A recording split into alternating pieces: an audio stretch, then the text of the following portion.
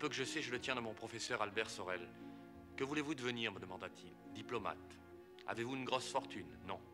Pouvez-vous, avec quelque apparence de légitimité, ajouter à votre patronyme un nom célèbre ou illustre? Non. Eh bien, renoncez à la diplomatie. Mais alors, que dois-je devenir? Un curieux. Ce n'est pas un métier, ce n'est pas encore un métier.